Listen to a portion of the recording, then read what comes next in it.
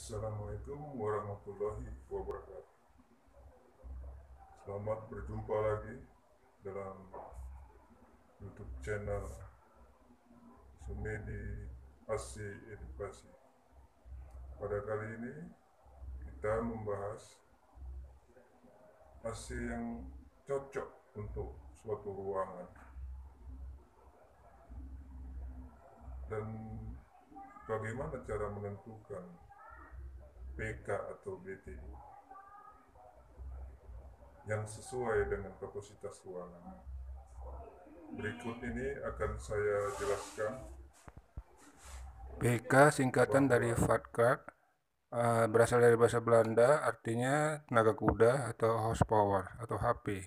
Sedangkan BTU adalah British Thermal Unit yang berasal dari bahasa Inggris yang dipakai oleh Amerika. BTU ialah satuan energi yaitu eh, satuan yang bisa menyerap panas dari ruangan ataupun eh, merubah cairan menjadi uap dan dibuang ke luar atau outdoor sehingga ruangan akan menjadi dingin. Rumus untuk mencari BTU yang sesuai dengan ruangan yaitu panjang kali lebar kali 500 meter persegi per BTU house. misalnya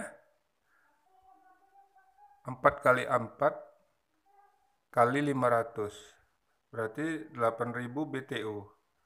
Ini sesuai dengan kapasitas AC 1 PK.